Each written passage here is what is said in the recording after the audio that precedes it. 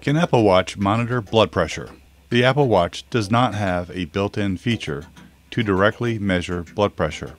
However, it can be paired with third party blood pressure monitors like the QardioArm or Withings BPM, which sync with the Apple Watch to record and track your blood pressure data via their respective apps.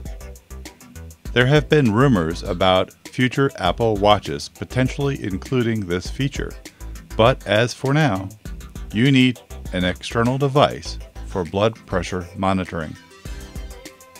Will future versions be able to monitor blood pressure? Apple has been rumored to be working on integrating blood pressure monitoring into future Apple Watch models, potentially through non invasive methods.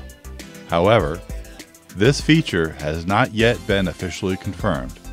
According to reports, Apple has faced technical challenges in accurately measuring blood pressure without the use of an external cuff, which is why it hasn't appeared in the current models. If Apple manages to overcome these hurdles, it's possible that future Apple Watches will have built in blood pressure monitoring, but there's no confirmed release date for this feature.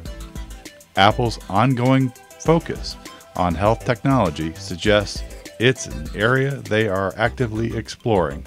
Why are others, like Samsung, able to produce a watch that monitors blood pressure, but not Apple? Samsung has implemented blood pressure monitoring in its Galaxy Watch using a method called pulse wave analysis. This technology relies on sensors to track the pulse and uses algorithms to estimate blood pressure, though it still requires periodic calibration with a traditional cuff based monitor to maintain accuracy. The feature is available in regions where it has received regulatory approval, as the accuracy of wrist based blood pressure monitoring is still under scrutiny. There are a few reasons why Apple has not yet released a similar feature. Accuracy and reliability. Apple tends to prioritize the accuracy and reliability of its health related features. Wrist based blood pressure monitoring, even in devices like the Galaxy Watch, requires regular calibration with traditional monitors, and the accuracy can vary based on individual differences. Apple might be waiting until they can provide a solution that meets its stringent standards without the need for external calibration. Regulatory approvals. Health related features in wearable devices must meet strict regulatory requirements in various countries, like the FDA approval in the US. Apple may still be refining its blood pressure technology to meet these requirements before releasing it to the public. Technological challenges Blood pressure monitoring without a cuff is a highly complex challenge. Samsung's solution, while innovative, still has limitations.